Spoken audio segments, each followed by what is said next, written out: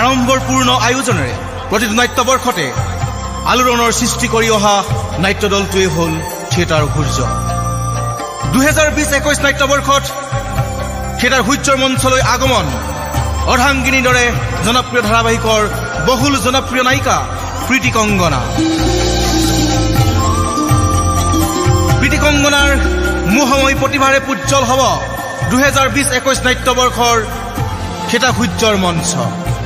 এই মঞ্চতেই প্ৰীতি কংগনাৰ বিপৰীতে দেখা যাব দুই তাৰকা সঞ্জীৱ শৰ্মা আৰু জে ভি বক্সি। দুহেজাৰ বিছ একৈছ নাট্যবৰ্ষত সূৰ্যৰ এক বলিষ্ঠ নিবেদন চকুলো আৰু আৱেগৰ মেটমৰা সম্ভাৰ লৈ অভিজিত ভট্টাচাৰ্যৰ বলিষ্ঠ সৃষ্টি মই সেন্দুৰ নলওঁ। মই সেন্দুৰ নলওঁ। পুৰুষ মহিলা প্ৰতিগৰাকী দৰ্শকৰ হৃদয় কপোৱা নাট মই সেন্দুৰ নলওঁ।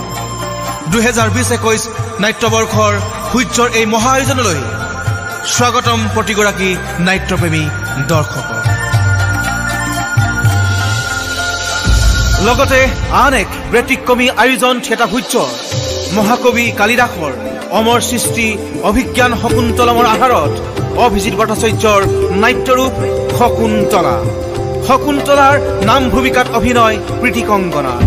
থিয়েটাৰ সূৰ্যৰ আগন্তুক নাট্যবৰ্ষত চমকপ্ৰদ আয়োজন অভিজিত ভট্টাচাৰ্যৰ শকুন্তলা।